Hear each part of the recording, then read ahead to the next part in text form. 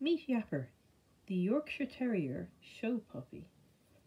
Now, you can tell it's a puppy because the fur on its back and legs is black, not grey.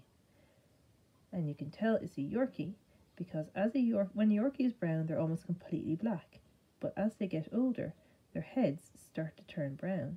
And when they get to about a year old, all the black fur starts to go completely grey. And this is very short. A full grown Yorkshire Terrier's fur can be two or three times as long as their body, but it is very hard to keep groomed because they love running around and getting into so much trouble. I've had Yorkshire Terriers as puppies and as dogs, and they love digging and hiding because they were originally bred as ratters. They were bred to look for rats and go down the burrows and get the rats and they are wonderful dogs but extremely barky. I'm trying to uncover poor Yapper's lies. She has so much fur and she needs a really good groom. She does have lies in there.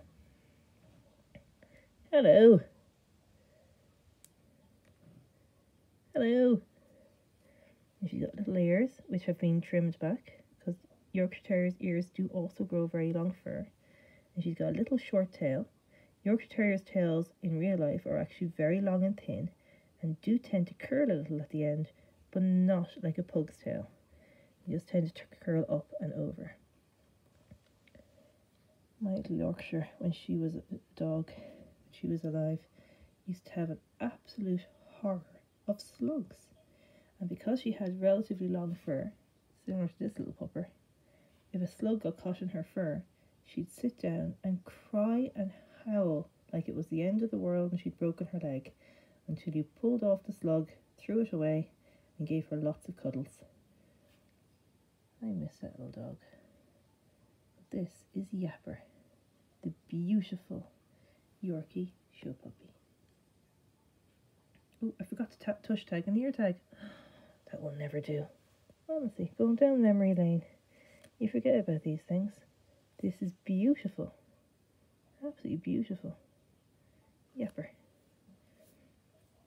And the ear tag says original beanies. Just trying to undo it. Yapper.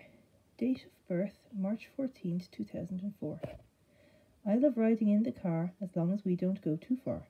So take me on a little trip and I'll let out a playful yip. Yapper.